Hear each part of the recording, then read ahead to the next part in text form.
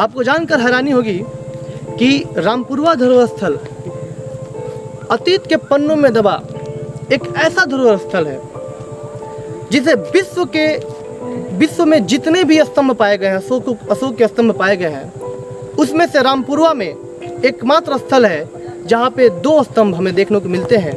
एक स्तंभ जिसके ऊपर शेर की प्रतिमा और दूसरा स्तंभ जिसके ऊपर एक बैल की प्रतिमा स्थापित की गई थी।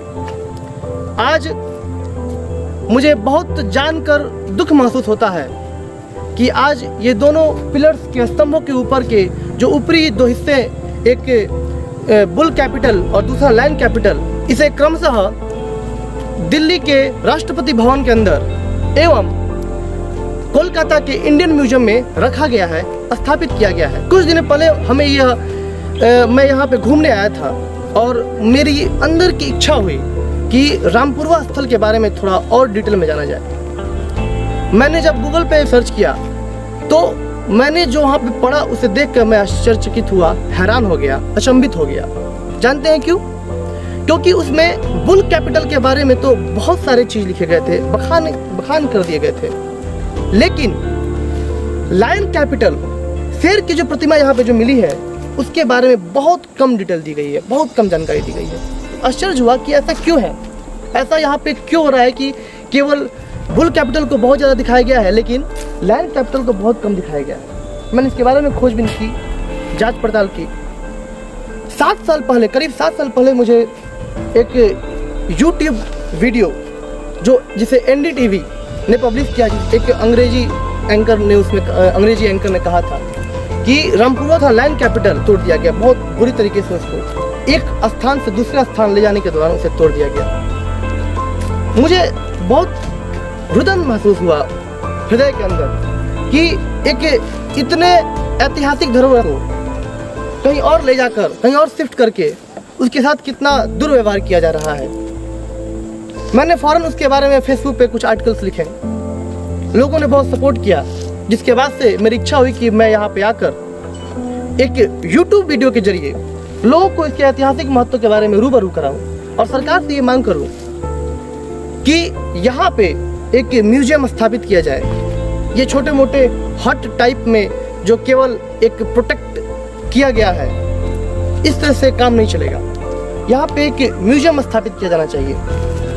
सबसे पहले मैं ये कहना चाहूँगा कि राष्ट्रपति भवन में जो बुल कैपिटल रखी गई है जिसे ऐसा कहा जाता है कि लंदन के अंदर कोई प्रोग्राम हो रहा था और उसमें बुल कैपिटल को यहाँ से वहाँ पे ले जाया गया था दिखाने के लिए।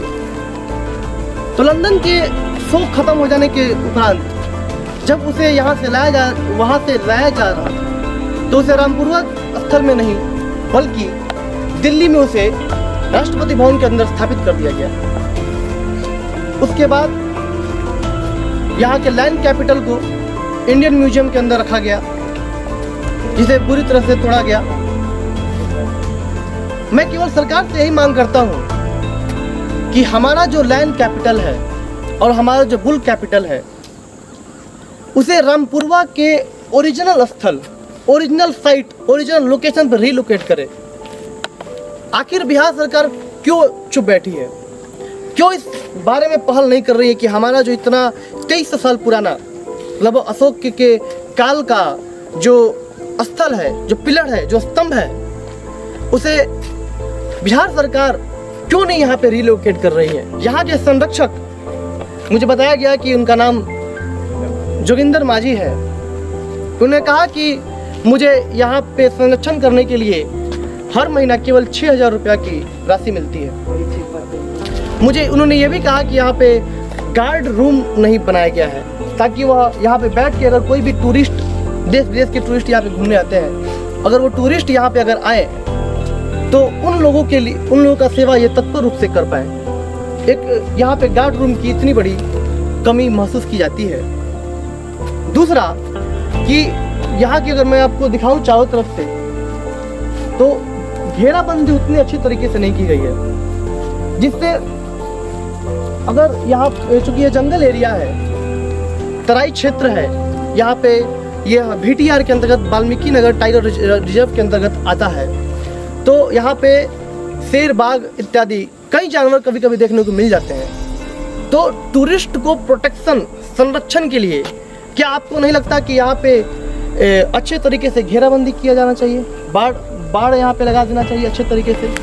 क्या आपको नहीं लगता है कि यहाँ पे एक म्यूज़ियम रहना चाहिए? यहाँ पे एक सिल पट्टिका रहना चाहिए, जिसको देख के हम ये पढ़ सकें कि इस ऐतिहासिक धरोहर स्थल का आखिर में इम्पोर्टेंस क्या है रेलिवेंस क्या है, इसका महत्व क्या है?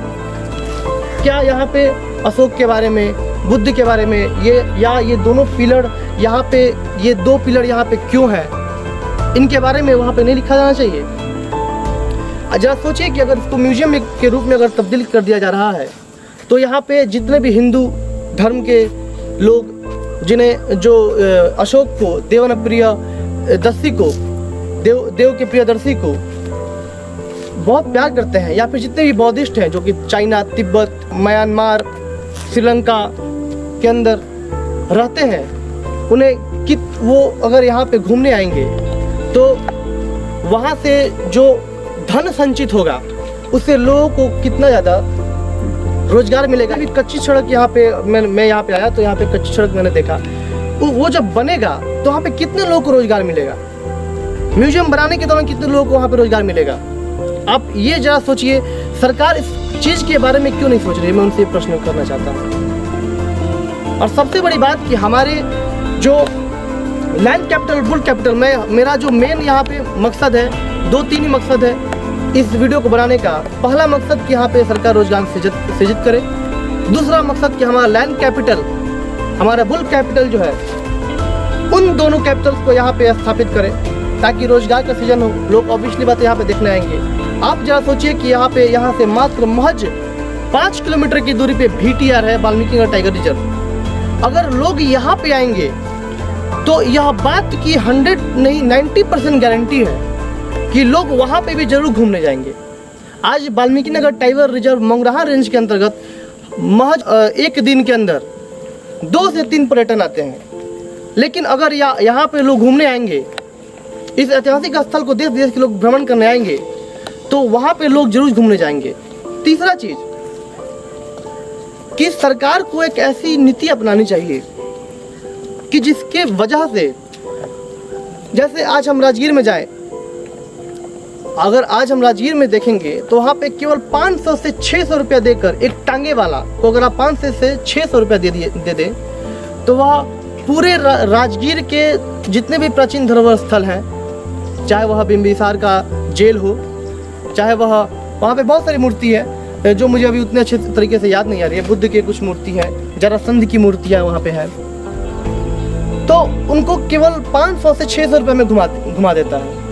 तो आप जो सोचे कि अगर यहाँ पे ई रिक्शा या ऑटो, टैक्सी के माध्यम से या फिर कोई ऐसा बस चले पर्यटन के लिए, टूरिस्ट के लिए, जो पूरा भी टी आर यहाँ पे 10 किलोमीटर यहाँ से दूर, सुभद्रा स्थान गढ़ी माई स्थान, रामपुरवा, भितिहरवा, सोफा मंदिर, और भी कई स्थल है जो मैं अभी भूल पा रहा हूँ। मंगुराहा रेंज, ऐसे बहुत ऐसे यहाँ पे पुरातत्विक इनका ऐतिहासिक बहुत ज़्यादा इम्पोर्टेंस है। तो लोग यहाँ पे घूमने आएँगे, उनको आसानी बहुत ज़्यादा उनको सुविधा उपलब्ध कराई जाए।